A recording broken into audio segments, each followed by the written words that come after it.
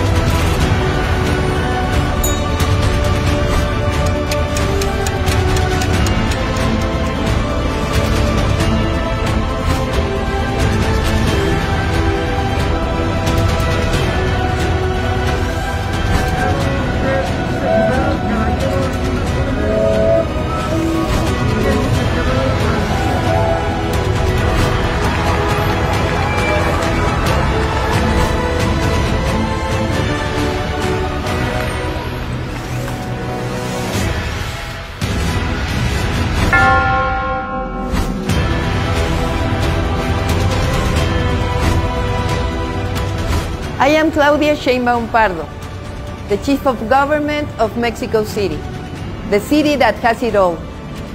We are very happy to be for the first time the venue for the 47th edition of the Tianguis Turístico Mexico 2023, the most important Latin American event in the tourism industry. It allows us to promote our beautiful city and our wonderful country. We invite you to Mexico City, which has an immense cultural and tourist wealth.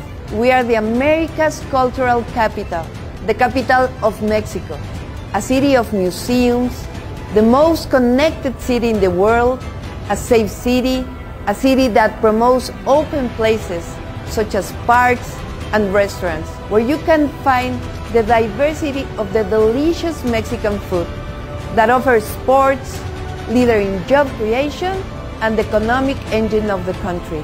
We will welcome with our open arms representatives for more than 50 countries and 50,000 attendees. We are waiting for you. See you in March. Welcome to Mexico City.